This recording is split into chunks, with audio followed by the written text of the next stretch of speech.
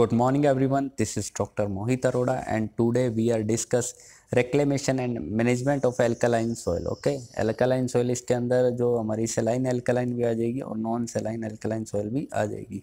तो स्टार्ट करते हैं। Let's begin alkaline soil can not be reclaimed by mere flooding for the land ठीक है? ऐसा नहीं है कि इसको खेत के अंदर भरा रख भरा रख के जे अपने इसको सही कर कर लेंगे, ठीक है? जैसे अपने सेलाइन सोइल कर लेते थे। In this case saline saline soil flooding is likely to do more harm और यहाँ पर क्या है? अगर फ्लडिंग करेंगे तो ज़्यादा हार्मफुल होगी। Leaching down of soluble salt make the soil alkaline ठीक है? जो लीचिंग साल्ट होंगे सोलूबल साल्ट वो क्या करेंगे? वो भी सोयल को एल्कलाइन ही बनाएँगे। Soil get disperse then become compact और सोयल क्या हो जाएगी? कॉम्पैक्ट हो जाएगी, सख्त हो जाएगी।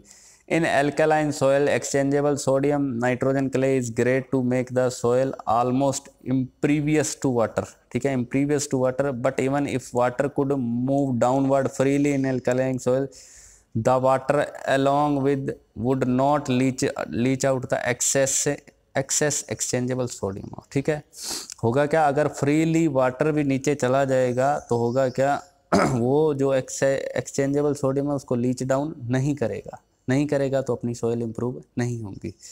The sodium cation must be replaced by calcium cation and then leach down ठीक है? ये हो सकता है कि सोडियम कटाइन जो है, वो कैल्शियम कैटाइन को एक्सचेंज करते हैं और फिर लीच डाउन चले जाएँगे ये हो सकता है, ठीक है? Following calling chemical fertiliser use for reclaiming the alkaline soil इसके अंदर फ़र्स्ट केमिकल फैक्टर आ जाता है केमिकल मेथड के अंदर। जो सबसे इंपॉर्टेंट है अपना एप्लीकेशन ऑफ़ जिप्सम ठीक है?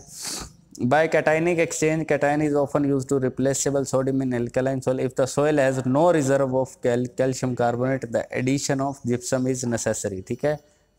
अगर आपकी सोयल सेलाइन या एल्केलाइन है तो उसके इम्प्रूव के लिए अपने क्या यूज़ करेंगे? जिप्सम का यूज़ करेंगे, ठीक है?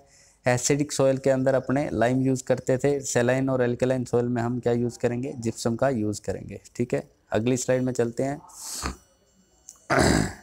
अगली स्लाइड में चलते हैं, ठीक है? When when gypsum is use as reclamation agent calcium replace the exchangeable sodium and convert the clay back into calcium clay ठीक है? तो ये सोए क्ले का कॉम्प्लेक्स है। क्ले सोयल है, उसका एक पार्टिकल है, उस पर क्या है? सोडियम आयंस है, ठीक है? सोडियम आयंस है। जब अपने जिप्सम को अप्लाई करेंगे C S O four seven C S O four इसका फॉर्मूला होता है जिप्सम का, ठीक है? जब इसको अपने सोयल के अंदर मिक्स करेंगे तो होगा क्या? जिप्सम के अंदर का जो कैल्शियम है, ये वाला कैल्शियम ये रिप्लेस कर देगा किसको? सोडियम आयंस को, ठीक है? सोडियम को रिप्लेस करके उसकी जगह ले लेगा और बच क्या जाएगा? N A two S O four बच जाएगा सोडियम सल्फेट बच जाएगा, ठीक है? उसके बाद sodium carbonate N N A two C O three को यूज़ करते हैं और जब N A two C O three के अंदर भी जब जिप्सम मिक्स होता है तो ये क्या बन जाता है? कैल्शियम रिप्लेस होकर सी ओ सी ओ थ्री बन जाता है और क्या जो सोडियम सल्फेट है वो क्या हो जाएगा? लीच डाउन हो जाएगा। ठीक है? रिप्लेस होने के बाद लीच डाउन हो जाएगा। Sodium sulphate goes into solution and it's then remove by washing out with water and leaching down with water with the help of artificial drain कर देते हैं उसका। ठीक है? Addition of gypsum improve the physical condition of soil soil become fluctuated and drain improvement हो जाएगा. Is lower down in desire level level और जो पीएच बड़ा हुआ है सोयल का, वो भी क्या हो जाएगा? डाउन हो जाएगा. ठीक है? तो ये अपने जिप्सम दे रखा है. कितना इसके इम्प्रूवमेंट होता है, वो बता रखा है. जिप्सम इक्विलेंट कितना है? अमेंडमेंट कितना? अमेंडमेंट क्या करता है और इक्विलेंट कितना है? तो जिप्सम क्या है? वन है इसकी। ये सारनी दे रखे ना जिप्सम इक्विलेंट मतलब तुल्यांकी इसकी सांद्रता दे रखी है। जिप्सम की वन होती है सल्फ़र की ज़ीरो पॉइंट नाइनटीन है। तो अपने क्या यूज़ करते हैं? अपने मेनली जो एल्कलाइन सॉइल इंप्रूव करने के लिए एक तो जिप्सम का यूज़ करते हैं और दूसरा किसका? आयरन पायरेटिस का यूज़ करते हैं। दोनों ही तुम्हें याद करने हैं। जिप्सम और आयरन पायरेटिस ठीक है? यूज़ ऑफ़ सल्फ़र सल्फ़र का भी यूज़ अपने कर सकते हैं। ये हो गया अपना reclamation of alkaline soil next अपने बात कर लेते हैं टिलेज की। तो फ़र्स्ट ऑफ़ ऑल तो बात करते हैं टिलेज क्या होता है? व्हाट इज़ टिलेज ठीक है? टिलेज क्या होता है? Tillage operation in various form has been practice from the very inception of growing plant ठीक है?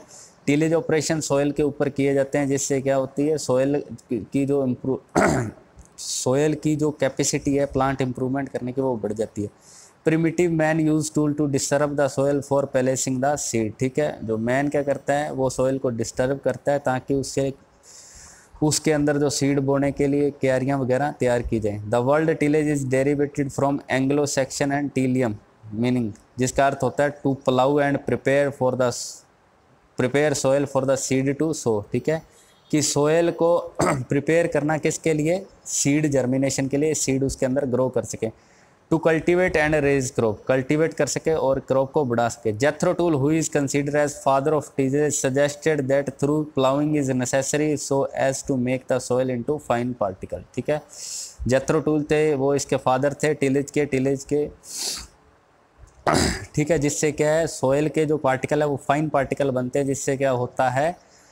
वो सोयल जो है, वो अच्छी हो जाती है सोइंग के लिए। ठीक है नेक्स्ट बात कर लेते हैं टिलेज की अगली डेफिनेशन क्या है? Tillage is the mechanical manipulation of soil with the tool and the implements of obtaining considerational for seed germination seedling establishment and growth of growth ठीक है? टीलेज वो प्रैक्टिस है जिसके अंदर आप सीड अच्छे से सीड जर्मिनेशन हो सके सीड का इस्टेब्लिशमेंट हो सके सीडलिंग का, जो हमारी रोपाई जिसकी करते हैं अपने, जैसे राइस की करते हैं, वो सीडलिंग का अच्छे से इस्टेब्लिशमेंट हो जाए और क्रॉप की ग्रोथ है, उसके अंदर अच्छे से हो, ठीक है? टिल्थ की अपने बात कर लेते हैं टिल्थ क्या होता है? Tilth is the physical condition of soil obtain out of tillage is the result of tillage ठीक है? क्या होती है? फ़िज़िकल कंडीशन होती है सॉयल की ऑप्टेन आउट ऑफ़ टिलेज ठीक है? मतलब उसको सेटअप करना, उसकी जो फ़िज़िकल कंडीशन होती है, उसको सेटअप करना सॉइल की, उसको ऑप्टेन करना, उसको क्या बोलेंगे? रिज़ल्ट टिल्थ का टिल्थ बोलेंगे उसको, ठीक है? द टिल्थ में because tilth fine tilth and moderate tilth three type की टिल्थ होती है कोर्स टिल्थ फाइन टिल्थ और मॉडरेट टिल्थ अब कर लेते हैं आगे इसका ऑब्जेक्टिव क्या क्या है। मेन ऑब्जेक्टिव क्या क्या है? मेन ऑब्जेक्टिव अपने देख लेते हैं। मेन ऑब्जेक्टिव अपना to prepare a good seed bed which help the germination of seed ठीक है? तो एक गुड सीड बेड को अपने प्रिपेयर करना, वो इसका मेन ऑब्जेक्टिव है। सेकंड क्या कह रहा है? To create condition in the soil suited for better growth of soil जो सोयल को क्रॉप्स की बेटर ग्रोथ के लिए प्रिपेयर करना है। थर्ड है to control the weed effectively और जो वीड को है इफेक्टिवली कंट्रोल करना है। फोर्थ क्या है? To make the soil capable of absorbing more rain water और रेन क्या है? कैपेबल हो जाए, ज़्यादा रेन वाटर को एब्जॉर्व करने के लिए। To mix up the manure and fertiliser uniformity in the soil next है to aerate the soil aerate का मतलब वायु संचार उसके अंदर अच्छा हो। To provide adequate seed soil contact to permit water flow to seed and seedling roots okay to remove the hard pan and to increase the soil depth ठीक है? हार्ड पेन का मतलब जो कड़ी परत उसकी हट जाए और सोयल की डेप्थ क्या है? इंक्रीज हो जाए। To achieve these objective the soil is disturb open and turn ठीक है? इन सारे ऑब्जेक्टिव को अचीव करने के लिए सोयल को डिस्टर्ब किया जाता है। ओपन किया जाता है और उसको टर्न ओवर पलटा भी जाता है। ये सारे ऑब्जेक्टिव हैं किसके? टीलेज के। नेक्स्ट आते हैं, अपने बात करते हैं टीलेज की। तो टिलेज के मेनली टू टाइप्स होते हैं। एक तो होता है ऑन सीज़न टिलेज और एक होता है ऑफ़ सीज़न टीलेज ठीक है? पहले अपने बात कर लेते हैं ऑन सीज़न टीलेज की। ठीक है, दूसरा क्या आ जाएगा? दूसरा आ जाएगा अपना ऑफ़ टीलेज की। ठीक है? तो ये दो तरह के कंसेप्ट हैं। मेनली तो इसके अंदर एक तो प्राइमरी टीलेज आ जाता है, एक सेकेंडरी टीलेज आ जाता है ज़ीरो टीलेज और मिनिमम टीलेज ठीक है? तुम्हारे एग्ज़ाम में चार तरह के टीलेज पूछे जाएँगे। इन दो के ही वो पार्ट हैं कि minimum tillage zero tillage primary tillage और सेकेंडरी टीलेज ठीक है? एक कंजर्वेशन टीलेज भी एक अलग से टर्म है।